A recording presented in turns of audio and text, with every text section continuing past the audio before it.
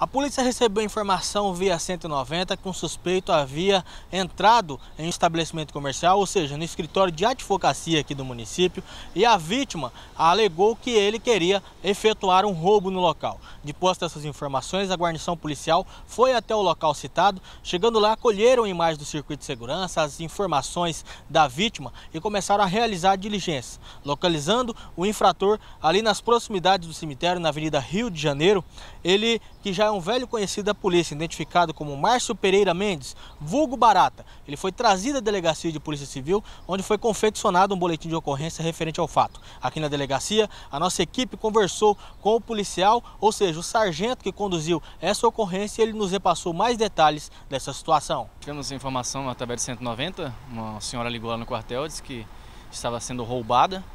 Ao chegarmos no local, conseguimos localizar ela, ela estava já no fundo da, do escritório, já não havia mais esse elemento no local. Ela nos informou que estava sentada na mesa ali da frente, no escritório de advocacia, ali na Avenida Cuiabá.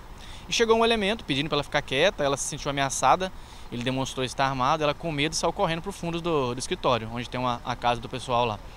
Aí, em patrulhamento ali na região, a outra viatura, que estava de serviço, localizou esse elemento, aí levamos ao local, ela reconheceu ele, e através dos circuitos de câmeras de segurança também, a gente conseguiu constatar que era mesmo o elemento, que é conhecido aqui na cidade, um, elemento usuário de drogas.